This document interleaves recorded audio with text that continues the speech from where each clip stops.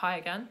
Um, reporting to you from the comfort of my bedroom here in, in northwest London.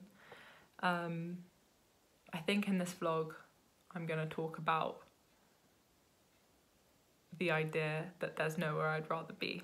Um, and it's something which first happened to me when I was in India and I decided not to go home and go back to university and to stay there. And a couple of painful, well, ba- I was going to say bad, but more objectively, as painful things happened to me.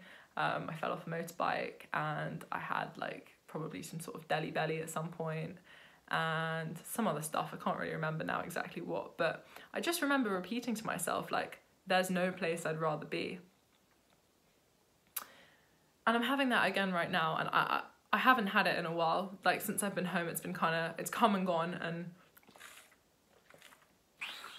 felt it when I'm energized, but when I'm feeling tired, it's much harder to feel that here. Um, but I do feel it right now because if I can feel comfortable to be myself in my own home and I have all of the like resources available to me here to um to survive without having to do much decision making really um I don't have to think about food or washing or things like that even though those are things that like I am capable of doing um, when I have energy, I I appreciate not having to, and I fear the times when I have been depressed in the past and haven't been able to do them.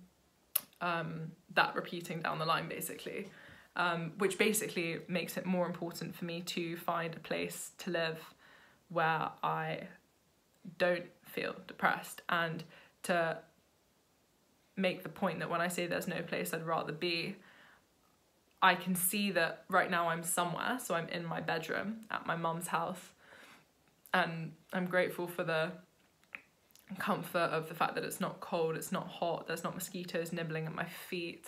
Um, have access to fresh water um, and clean clothes and company. So that's like amazing um, and a hot bath so nice um, but more importantly i think is recognizing that the space that i'm in right now in a way is also nowhere because um, i feel like i am kind of walking on this somewhat parallel dimension a bit right now um, and i'm tapped into that place which isn't really anywhere in particular. And this feeling that I have I could have anywhere in the world and it's not really derivative of anything around me. It's just a feeling that where you is is where it's at and you can't beat that with a there's a baseball bat over there but I can't be asked to get it. Um, and when I feel like this I think the depressive energy cannot touch me um, but I'm not going to. Uh, I watched a video last night which said that the ego is very strong. So if you say I will get depressed again, then it, it will know that. But I used to get depressed. Um, is what you're meant to say. Let's see what happens. But um, and if it does ever happen to me again, that I do feel low energy and unable to do things, um, that that I I'll be interested to see how the vlogging style changes then and from that place and the kind of things that I say. Um, and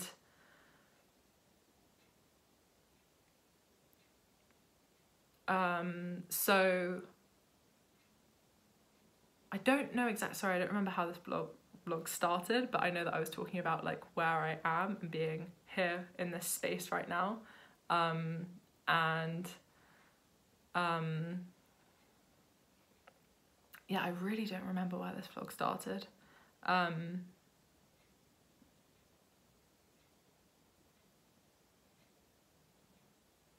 honestly, I haven't got a clue. All I all I know is I remember saying that I, um, when I first got to India, I yeah was like saying that there was nowhere I'd rather be, and I feel like I've come back there right now, um, and that's nice. And no idea no idea. Um, so I'm just gonna leave that vlog there. I can't even do it. I can do an introduction and say that this is a mystery vlog because I don't remember. But there you go. Peace.